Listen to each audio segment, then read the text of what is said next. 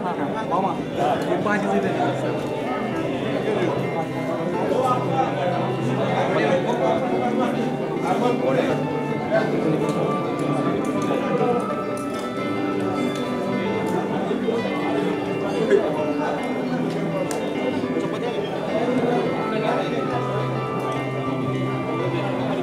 Thank you.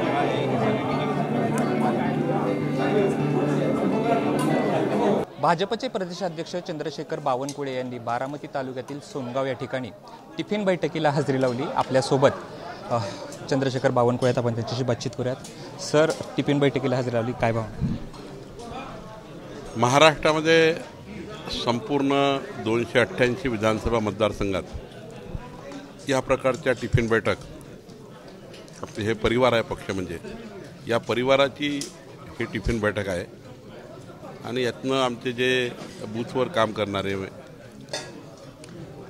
त्या ठिकाणी तालुका स्तरावर काम करणारे आमचे कार्यकर्ते जे आमचं पारिवारिक नातं आहे अधिक घट्ट व्हावं.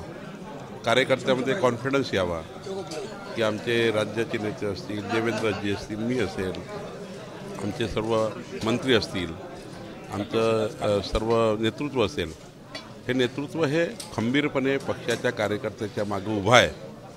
आणि हार्ट टू हार्ट आणि man to man relationship develop करून पुन्हा एकदा आपल्या या पक्षाला जे जे संस्कार आहे पक्षाचे पक्ष हा परिवारासारखा सांभाळावा लागतो.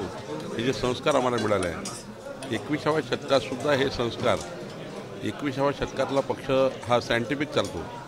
पण आमचे संस्कार जे आहेत की पारिवारिक नातं ठेवून पक्ष चालवायचा यावर या टिफिन बैठक की आपापल्या घरनं लोक डबे घेऊन आले आहेत. जो आनंद या ठिकाणी व्यक्त होतो आहे. आम्ही एकामेकाचा डबा त्या ठिकाणी घेतो आहे जेवण घेतो आहे. आमच्या मायमाऊलीनी अत्यंत प्रेमाने हा डबा तयार करून दिला आहे. अनेक लोकांचे त्या ठिकाणी हृदयाचा हा अ, हृद हृदयातून हे या पद्धतीने आमचा हा कार्यक्रम सुरू आहे. आणि आमचा हा जो परिवार आहे या परिवाराला अजून त्या ठिकाणी उभारी मिळावी. हा परिवार पुढा पुन्हा जोमात कामाला लागावा. आणि आमचं जे अ, राष्ट्र प्रथम हा जो आमचा विचार आहे या विचाराकरता काम करावं. याकरता या बैठकी आहे. आत्तापर्यंत तुम्ही किती टिफिन बैठकींना हजेरी लावलेल्या आहेत? कारण बऱ्याच ठिकाणी तुम्ही गेलेला आहात. आत्ताची बैठक कारण बारामती लोकसभा मतदारसंघावरती तुम्ही जे आहे तो मिशन बारामती आखलेले आहे. आणि त्यानुसार अनुषंगाने बैठक किती महत्त्वाची? नाही अनेक बैठकाला मी गेलो आहे. टिफिन बैठका अक्कलकोटलाही गेलो. अनेक ठिकाणी गेलो आहे. विदर्भात मराठवाडा पश्चिम महाराष्ट्र उत्तर महाराष्ट्र. आणि मी कार्यकर्त्याला विनंती केली आहे की प्रत्येक सहा महिन्यांनी भारतीय जनता पार्टीचा आपल्या जो विधानसभेचा हा परिवार आहे किमान पाचशे कार्यकर्ते मोठे लहान आमदार खासदार सर्वच एकदा सर्व कार्यकर्त्याशी बसून त्यांच्यासोबत टिफिन बैठक करून कार्यकर्त्याचे मत असतील काही त्यांचे स्वतःचं त्या ठिकाणी अडीअडचणी असतील कार्यकर्त्याच्या सुखदुःखाचे असतील विषय ते मार्गी लावावे. आणि अशा बैठकातनं हा पक्ष हा संस्कारमय पद्धतीने चालवावा. प्रत्येकाच्या परिवारात आपण त्या ठिकाणी काय करू शकतो? पक्ष हा सर्वव्यापी करण्याकरता कार्यकर्त्यांना कॉन्फिडन्स द्यावा असं या ठिकाणी आम्ही सु सुरुवात सुरुवात केली आहे. ऐंशीच्या दशकामध्ये नव्वदच्या दशकामध्ये अशा पद्धतीच्या बैठकी व्हा होत्या किंवा त्यावेळी चालायच्या. आत्ता एकविसाव्या शतकात ह्या चालत नाही. दोन हजार तेवीस चोवीसमध्ये देशाचे पंतप्रधान मोदीजी आमचे अमितभाई नड्डाजी नितीन गडकरीजी देवेंद्रजी आणि आमच्या सर्वच नेत्यांनी आता अशा प्रकारच्या बैठकी घेऊन कार्यकर्त्याला बळ द्यायचं असा निर्णय केला आहे काल जे आहे ती पाटण्यामध्ये विरोधकांची बैठक झाली. त्याच्या महबूबा मुक्ती शेजारी उद्धव ठाकरे बसले होते त्याच्यावरून टीका झाली. त्यावरती सगळ्याच पक्षात म्हणजे भाजपने टीका केली त्याच्यावर त्याच्यानंतर आता उद्धव ठाकरे असं म्हणतात ज्यावेळेस तुम्ही त्यांच्या शेजारी बसला होता त्यावेळेस तुमचं हिंदुत्व सुटलं होतं का? मग मी शेजारी बसल्यानंतर माझं हिंदुत्व कसं सुटलं? नाही पाटण्यामध्ये जी सभा झाली त्या सभेमध्ये यापूर्वी दोन हजार एकोणीसचा विचार केला. सतरा अठरा पक्ष त्यावेळी मोदींच्या विरुद्ध त्यांनी मूठ बांधली होती. तरी जे देशाच्या जनतेने मोदीजींना साथ दिली. आताही किती पक्ष एकत्र आले तरी देशाची जनता ही मोदींच्या मागे उभी आहे. एकशे चाळीस कोटीच्या देशाला कळतं की देशाची मान जगामध्ये उंच करण्याचं काम परवा अमेरिकेत बघा मोदींच्या नेतृत्वामध्ये आपल्याला अंगावर शहारे येतील अशा क्षण आपण अनुभवला. अमेरिसा अमेरिकेसारखं बलाढ्य राष्ट्र आज मोदींच्या हार्ट टू हार्ट आणि त्या ठिकाणी त्यांच्याशी जे रिलेशनशिप त्यांनी डेव्हलप केली आहे हे पुढच्या काळामध्ये भारताकरता अत्यंत महत्त्वाचं आहे.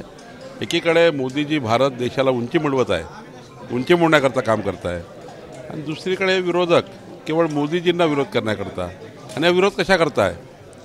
सत्तेतून पैसा पैशातून सत्ता मिळवली आणि उद्या जर दोन हजार चोवीसला मोदीजी आलेत तर आमचा सत्यानाश झाल्याशिवाय राहणार नाही.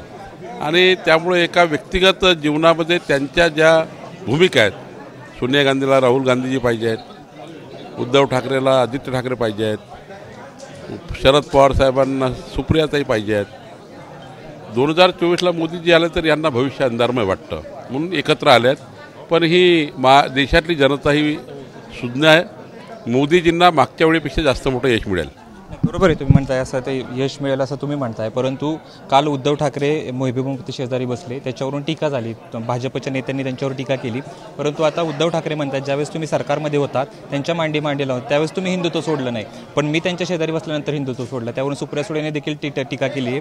सुप्रिया सुळे असं म्हणतात आहे की ज्यावेळेस तुम्ही त्यांच्यासोबत बसलेलं चालतं परंतु उद्धव ठाकरे बसलेले चालत नाही. उद्धव ठाकरेजींचं हिंदुत्व वेगळी आहे हे अनेक प्रकरणातनं आपल्याला दिसलं. जेव्हा त्यांनी हिंदुत्वाचा विचाराचा साथ सोडली आणि काँग्रेस राष्ट्रवादीचा विचार स्वीकारला महाराष्ट्रामध्ये बघा स्वातंत्र्यवीर सावरकरचा अपमान होता तेव्हा उद्धव ठाकरे काहीच बोलले नाही. आता माननीय प्रकाश आंबेडकरजी औरंगाचं दर्शन घेऊन आले. त्यांच्यासोबत त्यांची युती आहे. ती या युतीबद्दल उद्धव ठाकरे काही बोलले नाही. शेवटी त्यांनी अनेक प्रकरणातनं हे दाखवलं हिंदुत्व सोडलं आहे म्हणून कालच्या प्रकरणावर असं वाटतं की त्यांनी हिंदुत्वाची भूमिका सोडली आहे. यापूर्वी आम्ही जेव्हा कुणाशी बसलो तेव्हा आम्ही हिंदुत्ववादी भूमिका सोडली नाही. तीनशे सत्तर कलम हटवण्याचं काम आमच्या देशातल्या नेत्यांनी केलं. शेवटी कुणाशी मैत्री करणे काही वाईट नाही आहे कुणाशी युती करणे काही वाईट नाही आहे पण ज्या पद्धतीने विचाराशी युती करणे विचार स्वीकारणे हे त्या ठिकाणी मान्य नाही आहे स्वातंत्र्यवीर सावरकरचा विचार जेव्हा या महाराष्ट्रात पायदळी चालला होता तुडवला जात होता तेव्हा माननीय मुख्यमंत्री उद्धव ठाकरे होते. ते चूप बसले होते. असे अनेक उदाहरणं अशी आहेत ज्यामुळे उद्धव ठाकरेजींनी हिंदुत्व सोडल्याचे उदाहरणं आपल्याकडे आहेत. म्हणून त्या ठिकाणी टीका होते. उद्धव ठाकरे असं देखील म्हणतात फडणवीसांना देवेंद्र फडणवीस उपमुख्यमंत्र्यांनी त्यांनी इशारा देखील दिलाय तुम्ही आमच्या घरापर्यंत पोहोचू नका आम्ही तुमच्या घरापर्यंत आतापर्यंत पोहोचलो नाही तुमचे जे चॅट्स आहेत ते व्हॉट्सअपवर व्हायरल झालेले आहेत. उद्धव ठाकरेंचं खरं तर मी बोलू नये पण मानसिक संतुलन बिघडल्यासारख्या जेव्हा स्थितीमध्ये राजकारणी येतात तेव्हा अशा पद्धतीच्या परिवाराची भाषा करतात. आम्ही जे बोलतो आहे ते जे आहे ते बोलतो आहे की शेवटी सार्वजनिक जीवनामध्ये तुम्ही जे स्वीकारलं तेही बोलतो आहे आम्ही तुमच्या व्यक्तिगत जीवनात काहीच बोललो नाही. आता उद्धव ठाकरेंना आदित्य ठाकरेची चिंता आहे. याला काही व्यक्तिगत म्हणतात का? व्यक्तिगत जीवनामध्ये जे उद्धव ठाकरे बोलतात आहे अत्यंत मानसिक वेळेपणाचं त्या ठिकाणी लक्षण दिसतं आहे या पद्धतीचं बोलणं उद्धव ठाकरेजींना शोभत नाही. आणि शेवटी आमच्याकडे अशा हजार गोष्टी आहेत ज्या गोष्टी रस्त्यावर येऊ शकतात. पण मला असं वाटतं की कोणी खालची पातळी गाठू नये. कोणी या पद्धतीने या महाराष्ट्राचे संस्कार संस्कृतीला गालबोट लावू नये. आम्ही त्या ठिकाणी पाळतो आहे त्यांनी पाळावं. त्यांनी पाळलं नाही तर आम्हाला त्या ठिकाणी आमचे रस्ते मोकळे आहेत. तुम्ही आत्ता म्हणाला सत्तेतून पैसा आणि पैशातून सत्ता. असं जे आहे शहराचं जे आहे ते गणित आखलं गेलेलं किंवा महाविकास आघाडीने केलंय.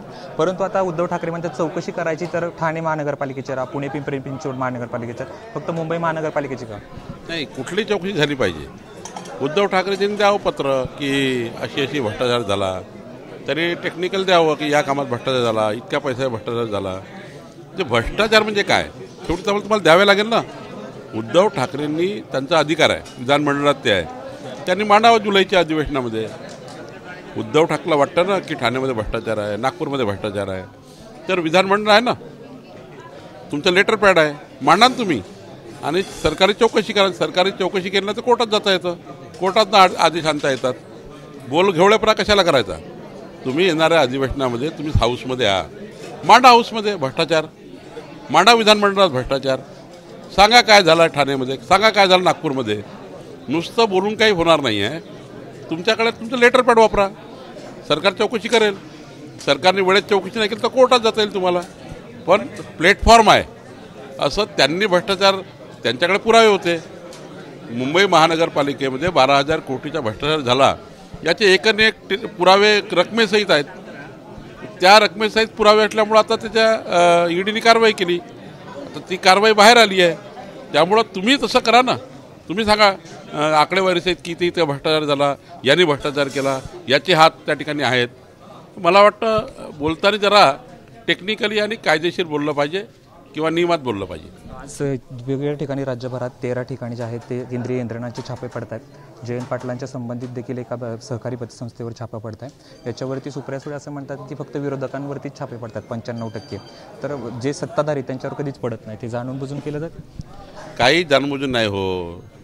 साठ साठ वर्ष सरकार चालवले आहेत. राजकारणाची परिभाषा बदलली आहे त्या काळामध्ये. त्या काळामध्ये एकच काम होतं सत्तेपासून पैसा आणि पैशापासून सत्ता. मग त्यांनी आता नाही म्हणावं ना की आता जेव्हा उघडकीस येईल तेव्हा ते कोर्टात डिफेंड करतील. शेवटी कुठलीही चौकशी लावली तर चौकशीला समोर गेला पाहिजे. आमच्याही चौकशा महाविकास आघाडीच्या काळात लागल्या होत्या. माझी चौकशी ओ डब्ल्यूने केली. खूप काळ त्यांनी चौकशी केली. शेवटी दूध का दूध पाणी का पाणी? जर त्यांच्यात हिंमत असेल तर दूध का दूध पाणी का पाणी होईल? कशाला घाबरतात चौकशाला? कोण घाबरतात चौकशाला? तुम्ही तक्रारी द्या तुम्हाला वाटतं तर. पण आम्ही काही चौकशाला घाबरणार लोक नाही आहोत. तुम्ही ऑलरेडी चौकशा केल्या देवेंद्रजीच्या केल्या आमच्या केल्या. तुम्ही नाही केल्या का चौकशा? तुम्ही आमच्यापैकी एक- हजार चौकशा केल्या आहेत. आणि त्यामुळं मला वाटतं की जे काही तपास यंत्रणा इन्क्वायरी करेल शेवटी चुकीची इन्क्वायरी कोणी करणार नाही. करूच शकत नाही चुकीची इन्क्वायरी कोणी. या देशामध्ये लोकशाही आहे. मला वाटतं की वाट बघावी. तर हे होते प्रदेशाध्यक्ष चंद्रशेखर बावनकुळे या ठिकाणी. बारामतीतील सोनगाव या ठिकाणी आहे. बैठकीचं टिफिन बैठकीचं आयोजन करण्यात आलेलं आहे. याला विविध पदाधिकारी जे आहेत ते उपस्थित आहेत आणि वेगवेगळ्या विषयावरती चंद्रशेखर बावनकुळे यांनी आपलं भाष्य केलेलं आहे. कॅमेरामन राजेश बिडकरसह जयदीप भगत एबीपी माझा बारामती. एबीपी माझा. उघडा डोळे बघा नीट.